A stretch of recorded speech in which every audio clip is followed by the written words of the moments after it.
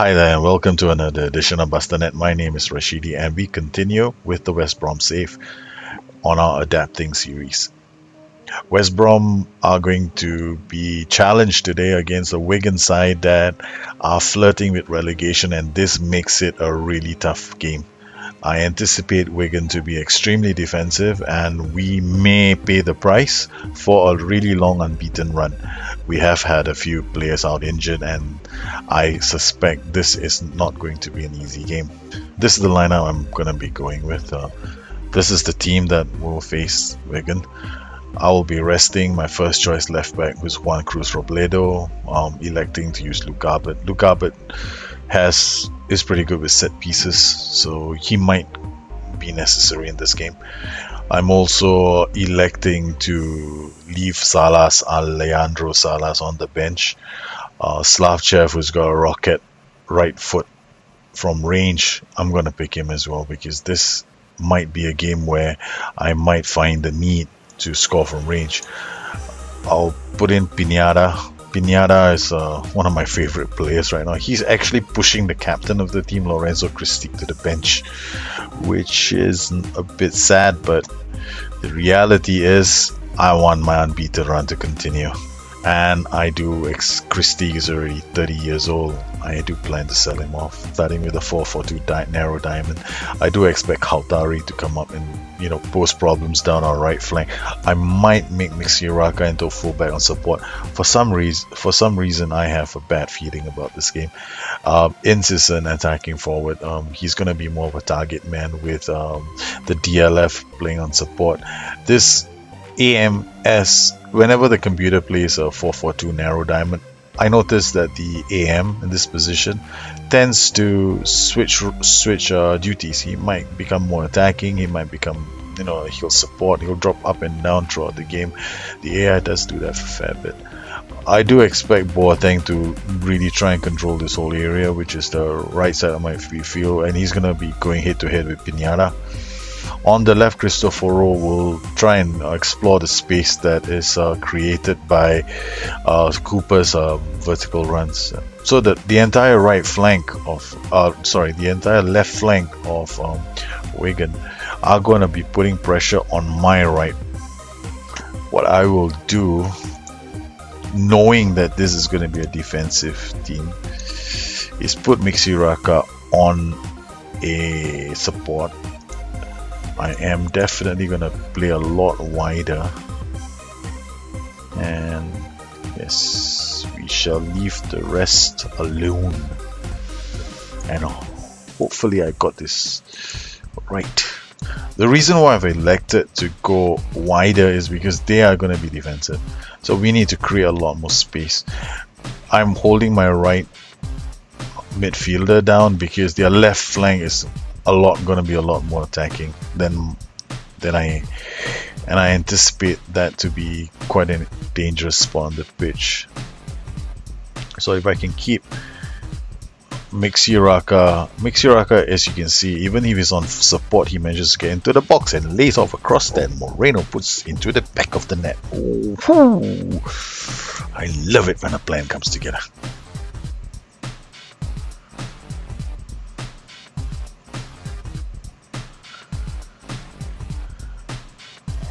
Oh, yes, Silvio, brilliant. Mixi-Raka. Three players in the box to choose from. What else can I ask for? The width was the right move.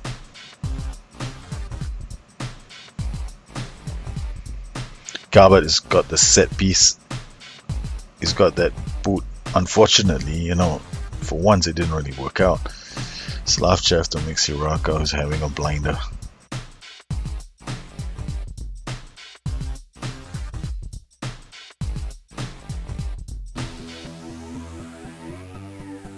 It off to Moreno.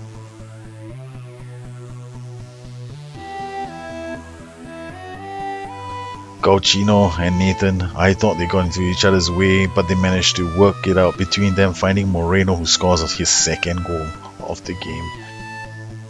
The width is working to our advantage.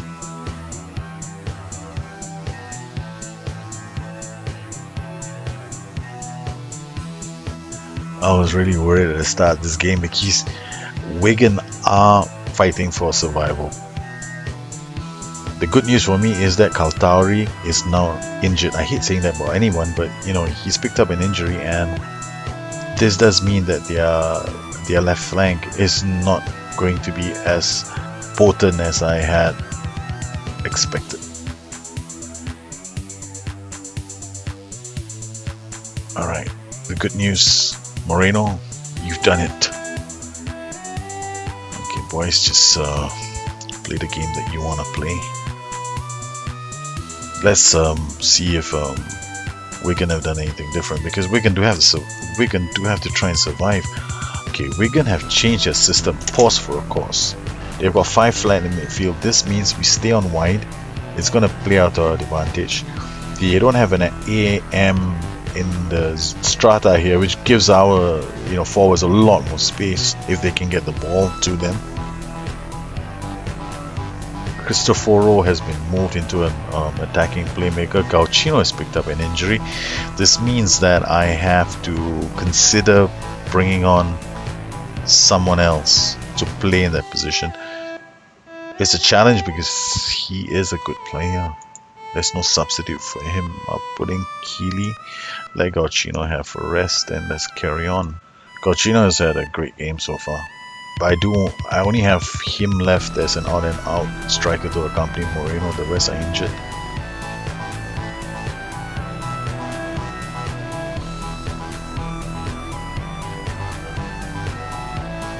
I'm a loss for words. Come on boys, let's keep it going.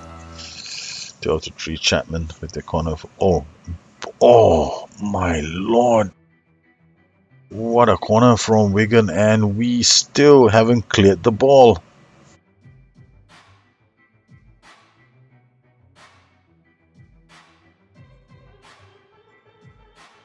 Simeon Slavchev can be taken off now.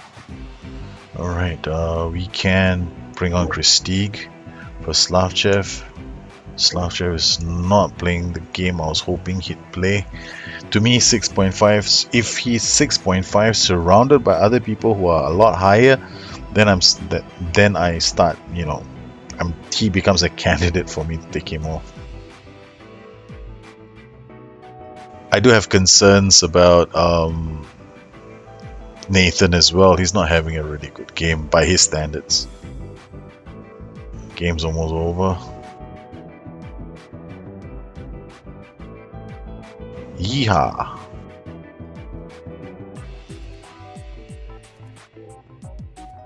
Good win, boys. Well done. My biggest concern was that flank. So by putting Mixuraka into a support position, he still has the get forward PPM that allows him to move up and down the flanks. By keeping him on support, we didn't overcommit. We knew that at the start of the game, their left flank had are potentially players that can move into the zone over here and that was my biggest worry throughout the game. So holding him back in support allowed Christigue to have a bit more security around this uh, rather here Simeon Slavchev was playing here so there was a lot more security in the zone.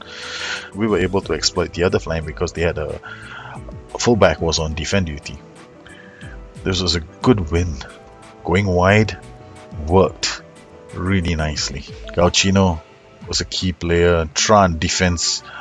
I have not seen a defender get man of the match in my team for yonkers.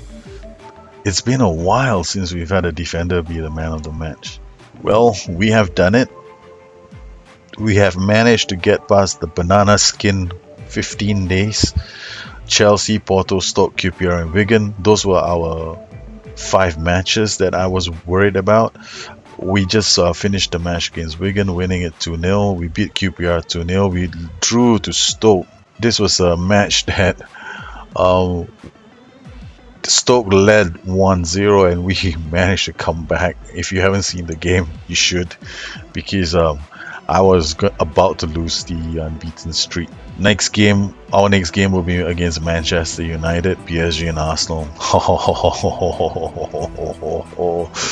oh god. Let's look at our run thus far. So let's let's look at our run thus far. Uh, we are definitely doing our best to not lose. It's now 256 games. Can we keep this run going? I don't know. Well, I hope you enjoyed this edition of BusttheNet. It's a pretty short show by my standards, but I don't want our, my shows to get really long. If you have any questions, you know where you can find me. My Twitter handle is at BusttheNet, and you can find me on my blog at www.addictedtofm.com. There's a lot of articles there. I'm considering redesigning the site. Just let me know what you think.